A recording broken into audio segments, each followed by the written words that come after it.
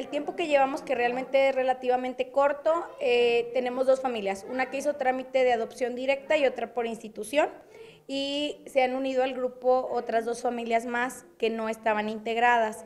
Y hemos estado en seguimiento alrededor de 15 familias en lo que llevamos este, trabajando en estas, en estas semanas en lo que estábamos inaugurando. Ahorita llevamos cinco familias este, con las que hemos empezado a trabajar. Estamos trabajando también con una psicóloga especialista en adopción, eh, la cual está elaborando, va a hacer un estudio y va a elaborar un protocolo para las familias para que tengan como una guía de, de qué debemos de trabajar para estar esperando cuando llegue la adopción. Están desde, desde que no sabían cómo acercarse o a dónde acercarse, hasta personas que ya han eh, ingresado su papelería y ahorita están en el proceso de evaluación.